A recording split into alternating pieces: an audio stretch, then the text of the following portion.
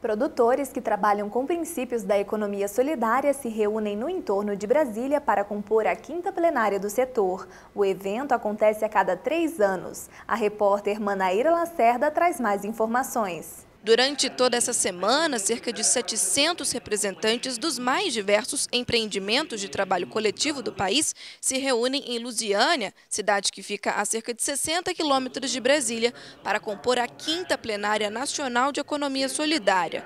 O evento tem como objetivo discutir as direções do setor e mobilizar os movimentos sociais. A economia solidária estabelece uma forma diferente de produção, sem agredir o meio ambiente, sem relação de chefia e com base no companheirismo. O Fórum Brasileiro de Economia Solidária é o principal promotor da plenária. O que é fundamental na economia solidária é que a gente articula saber acadêmico, saber técnico com saber popular.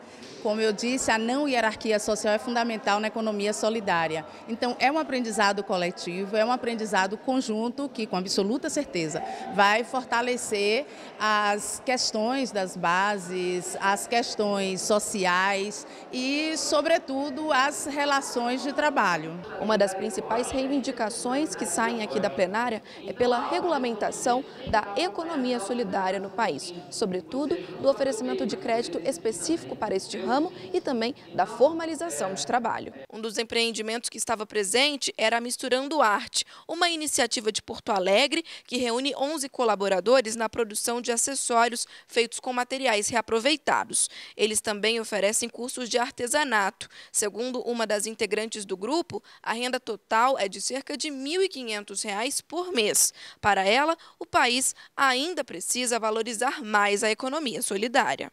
Hoje está faltando espaços de comercialização da economia solidária. Né? Também a gente falta, falta para nós linhas, linha de crédito que realmente atenda os empreendimentos econômicos solidários. Ainda falta assim que os próprios empreendimentos, os integrantes dos empreendimentos consigam perceber que uh, não é só a grana que está ali, né? Que mas que também tem a percepção sobre o mundo, né, o que, que ele está fazendo nesse, nesse sistema, o que é o sistema financeiro hoje, como ele acaba trazendo essa desigualdade. Né. Um exemplo de sucesso é a rede Chique Chique, uma associação de Mossoró, no Rio Grande do Norte, que trabalha com pesca, artesanato e agricultura familiar. O grupo atinge cerca de 300 pessoas direta e outras mil indiretamente. São produtores de 12 municípios que vendem o trabalho em feiras organizadas pela rede. Segundo a coordenadora financeira do grupo, alguns colaboradores arrecadam cerca de um salário mínimo por mês. Essa coletividade faz com que a gente consiga se inserir no mercado